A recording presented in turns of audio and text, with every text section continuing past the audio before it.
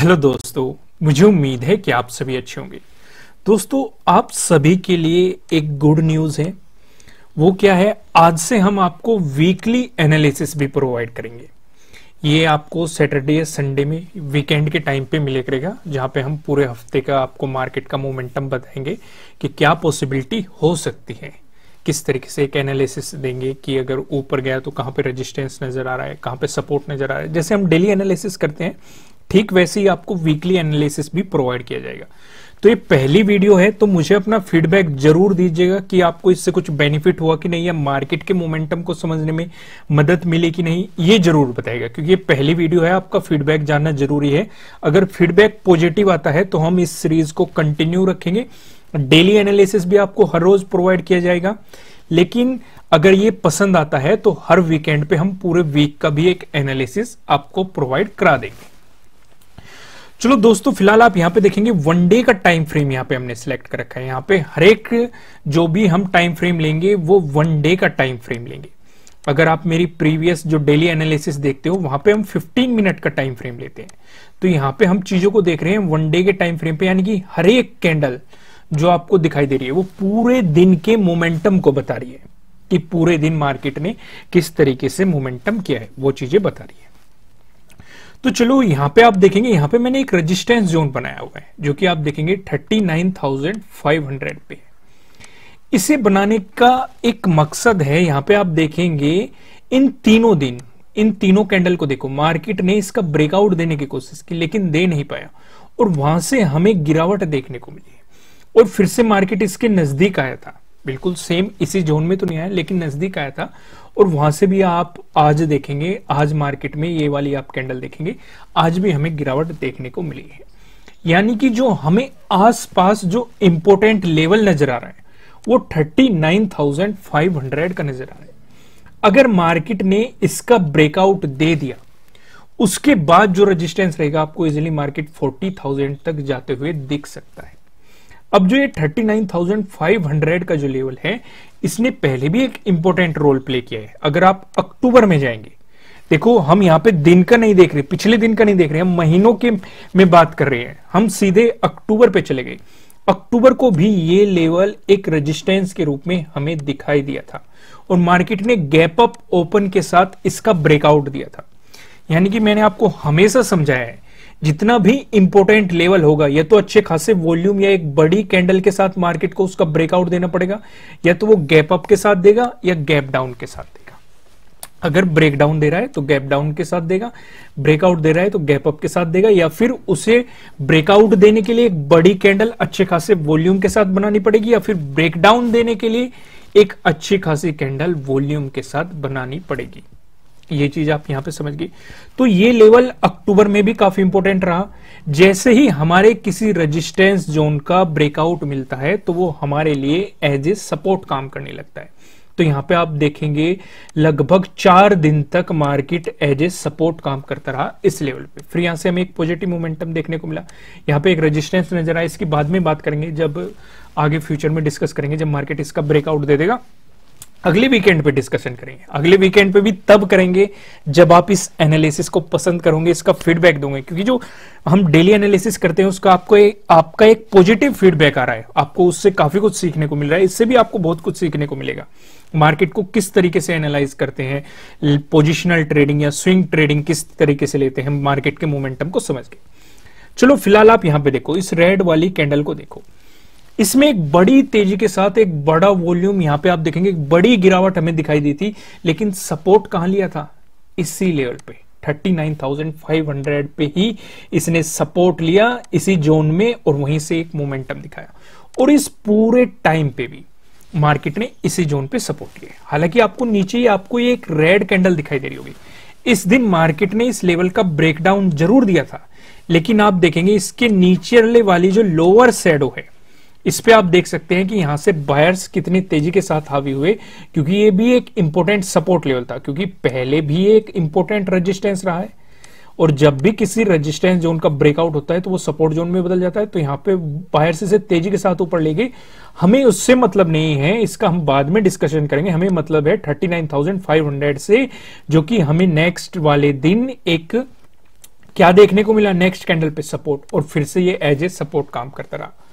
और दूसरी इंटरेस्टिंग चीज़ देखो, जब इसका ब्रेकडाउन दे दिया मार्केट ने, इस वाली कैंडल पे देखो, फिर से आपको एक गैप डाउन ओपनिंग देखने को मिली। यहाँ पे इस वाली कैंडल को आप देख सकते हैं। फिर हमें गिरावट देखने को मिली। चलो, उससे भी मतलब नहीं। फिर यहाँ पे आ जाओ, फरवरी में आ जाओ, फिर से हमें इसी लेवल पे एक रेजिस्टेंस दिखाई दिया है। और सेकंड टाइम भी मार्केट इसी के आसपास आता हुआ दिखाई दिया है। तो एक इंपॉर्टेंट रेजिस्टेंस हमारा क्या रहने वाला है? 39,500 हमारा एक इंपॉर्टेंट रेजिस्टेंस रहने वाला है यहाँ पे। समझ गए ना आप अच्छे तरीके से?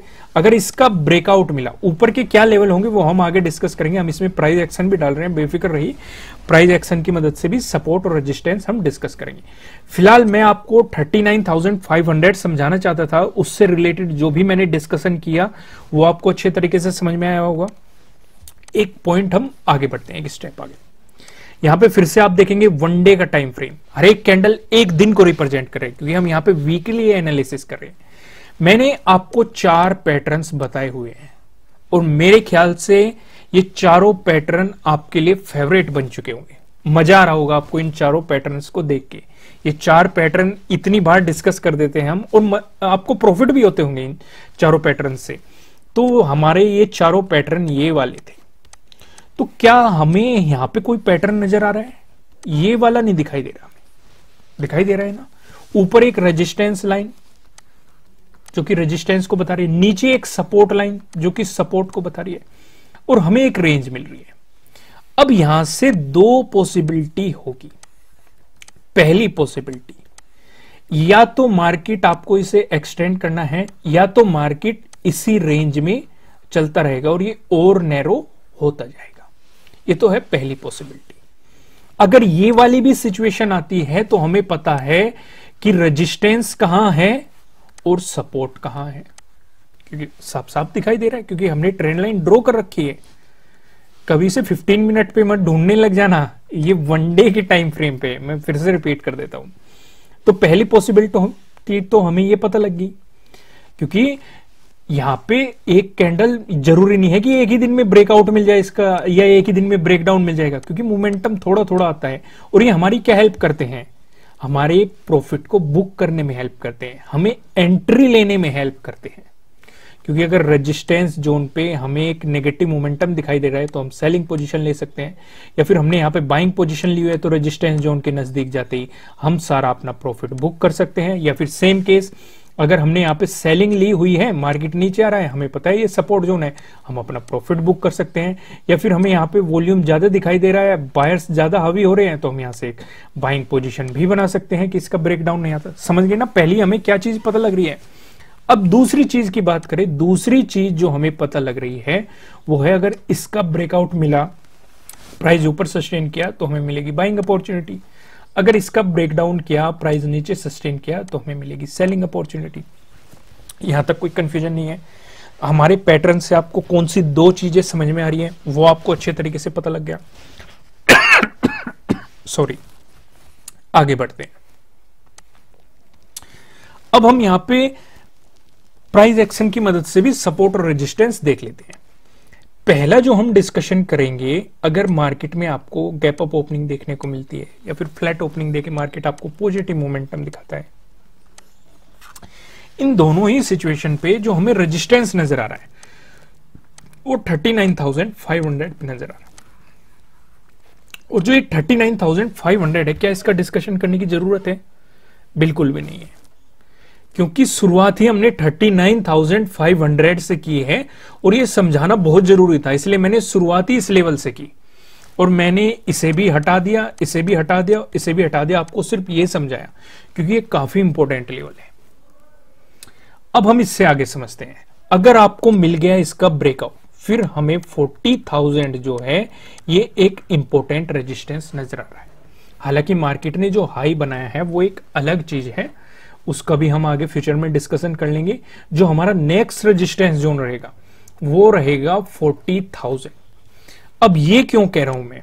क्योंकि इसके पीछे की भी कहानी आप अक्टूबर में जाइए, अक्टूबर में भी ये एक इंपॉर्टेंट रेजिस्टेंस रहा है। और मार्केट ने अगर आप इस वाली कैंडल पे फोकस करेंगे गैप अप ओपनिंग के साथ इस रेजिस्टेंस का ब्रेकआउट दिया था। उससे भी पीछे आइए। आप नवंबर के शुरुआत में आ जाइए। नवंबर की शुरुआत में अगर आप देखेंगे तब भी एक इंपोर्टेंट रेजिस्टेंस के रूप में हमें दिखाई दिया था। तो पॉसिबिलिटी है अगर 39,500 का आपको ब्रेकआउट मिला तो 40,000 आपके लिए एक नए रेजिस्टेंस के रूप में सामने आ सकता है। अगर इसका भी ब्रेकआउट मिला वो हम आगे डिस्कस कर लेंगे। दूसरा डिस्कशन कर लेते हैं हम अगर मार्केट में आपको गैप डाउन ओपनिंग देखने को मिली या फिर फ्लैट ओपनिंग देके मार्केट ने दिखाया आपको नेगेटिव मोमेंटम इन दोनों ही सिचुएशन में जो हमें सपोर्ट नज़र आ रहा है ये हमने आपके लिए फाइंड आउट किया है 38,000 पे। 38,000 पे ये हमें एक सपोर्ट दिखाई दे रहा है। अब इसे फाइंड आउट करने का भी एक रीजन था। आप फरवरी में ही देख लो। फरवरी में आपको यहाँ पे मार्केट सपोर्ट दिखा चुका। सिर्फ़ इतना ही नहीं, अगर आप जनवरी में भी जाएँगे जनवरी में शुरुआती वीक में आपको ये रेजिस्टेंस दिखाई दे रहा है ब्रेकआउट मिलने के बाद एज ए सपोर्ट दिखाई दे रहा है, फिर ब्रेकडाउन मिलने के बाद एज ए रेजिस्टेंस दिखाई दे रहा है। ये लेवल जनवरी में भी इंपॉर्टेंट रहा था। उससे पीछे जाइए, नवंबर में देखिए, नवंबर में भी ये एज ए सपोर्ट पहले काम कर चुका इवन एज ए रेजिस्टेंस भी ये काम कर चुका। उससे भी पीछे जाइए, अब अक्टूबर में जाइए अक्टूबर में भी ये लेवल एज ए रेजिस्टेंस काफ़ी इंपॉर्टेंट रहा था। उससे भी पीछे जाइए। आप सितंबर में जाइए। सितंबर में भी एज ए रेजिस्टेंस आपको ये काम करता हुआ दिखाई दिया था। तो ये लेवल हमारे लिए बहुत ज़्यादा इंपॉर्टेंट है। इसलिए आपको इस पर बारीकी से नज़र रखनी है, क्योंकि या तो मार्केट इसका गैप डाउन के साथ ब्रेक डाउन देगा या फिर अगर फ्लैट ओपन देके भी ब्रेकडाउन देने की कोशिश कर रहा है तो एक बड़ी कैंडल के साथ इसे देना पड़ेगा अच्छी खासी वॉल्यूम के साथ। आप एग्ज़ाम्पल देख सकते हैं, जब जब भी आपको यहाँ पे देखो, यहाँ पे देखो, यहाँ पे देख लो, यहाँ पे देख लो, यहाँ पे देख लो रिज़ल्ट आपके सामने है।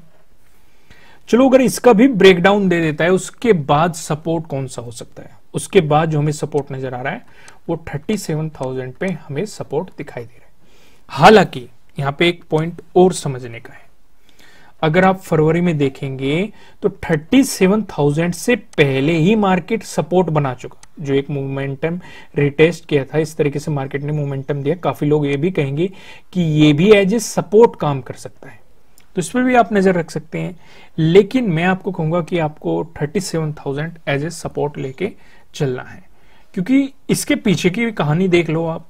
कितनी बार ये इंपॉर्टेंट रहा है, आप जनवरी जनवरी में जाइए। जनवरी में यहाँ पे देखो। शुरुआत में ही इसने रेजिस्टेंस में काम किया ब्रेकआउट देने के बाद सपोर्ट में काम किया, फिर से मार्केट रिटेस्ट किया, फिर से सपोर्ट में काम किया, फिर सपोर्ट में काम किया, उससे पीछे जाइए, आप दिसंबर में जाइए। दिसंबर के शुरुआती वीक में एज ए रेजिस्टेंस काम किया ब्रेकआउट देने के बाद एज ए सपोर्ट काम किया, उससे भी पीछे जाइए, नवंबर में जाइए। नवंबर में भी आपको एज ए सपोर्ट काम किया ब्रेकडाउन दिया गैप डाउन ओपनिंग के साथ तब एज ए रेजिस्टेंस काम किया, उससे भी पीछे जाइए, अक्टूबर में जाइए। अक्टूबर में मार्केट में जो गिरावट आई थी, इसी जोन में सपोर्ट लेके मार्केट ने पॉजिटिव मोमेंटम दिखाया था। उससे भी पीछे जाइए, आप सितंबर में जाइए। सितंबर के शुरुआती दिन में आप देखेंगे तो ये एक मज़बूत रेजिस्टेंस के रूप में हमें सामने दिखाई दिया था। लेकिन जब मार्केट ने इसका गैप अप ओपन के साथ, इस वाली कैंडल के साथ इसका ब्रेकआउट दिया था, तब ये एज ए सपोर्ट हमारे सामने नज़र आया। इसलिए मैंने आपके लिए ये लेवल फाइंड आउट किया है। उससे पहले वाले का मैं डिस्कशन नहीं किया जो फरवरी में ये लो बनाया है। इसका मैंने डिस्कशन नहीं किया, क्योंकि उससे भी ज़्यादा इंपॉर्टेंट मुझे ये नज़र आ रहा है। पर लेकिन उस पर भी आपको नज़र रख के चलनी है, क्योंकि पहले भी अगर आप यहाँ पे देखेंगे, आपको लोअर में एक बड़ी सैडो नज़र आएगी। क्लियर यहाँ तक कोई कंफ्यूजन नहीं है। एक स्टेप हम और आगे चलते हैं। अब पेवेट पॉइंट की मदद से भी देख लेते हैं कि कौन कौन से सपोर्ट रेजिस्टेंस हमें दिखाई दे रहे हैं। यहाँ पे आप देखेंगे वन डे का हमने टाइम फ्रेम लगा रखा है। अगर बैंक निफ्टी में आपको एक पॉजिटिव मोमेंटम देखने को मिला, ऐसी स्थिति में जो हमें पहला रजिस्टेंस नज़र आ रहा है ये आ रहा है thirty nine thousand five hundred thirteen. एक बात और, मैं फिर से बता रहा हूँ कि ये वीकली एनालिसिस है वन डे के टाइम फ्रेम पे। काफ़ी लोग इसे मिसमैच मत कर जाना कि आप डेली एनालिसिस पे अलग लेवल है, इस पे अलग लेवल है। ये वन डे के हिसाब से लेवल है। कि पूरे वीक आपको मार्केट किस तरीके से मोमेंटम करते हुए नज़र आ सकता है कहाँ पे सपोर्ट कहाँ पे रेजिस्टेंस होने की पॉसिबिलिटीज है। हंड्रेड परसेंट तो कुछ भी नहीं होता ये सिर्फ़ पॉसिबिलिटीज हो, होती है कि ऐसा हो सकता है।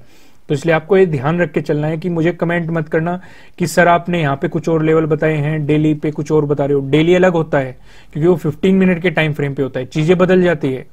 समझ रहे हो ना?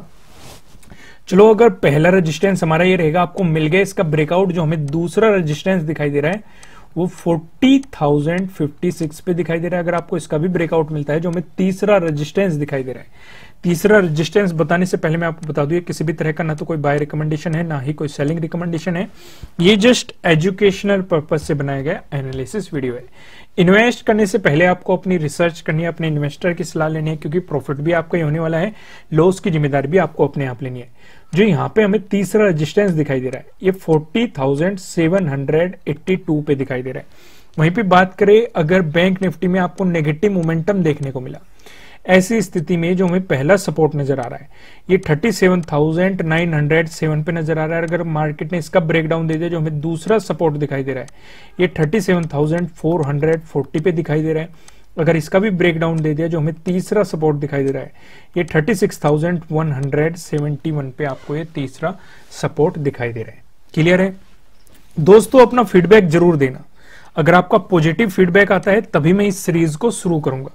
और अगर पसंद आई आपको ये सीरीज़ जो हम वीकली एनालिसिस कर रहे हैं तो लाइक ज़रूर कीजिएगा। फिर मिलेंगे किसी नेक्स्ट वीडियो में किसी अच्छे कंटेंट के साथ। Thank you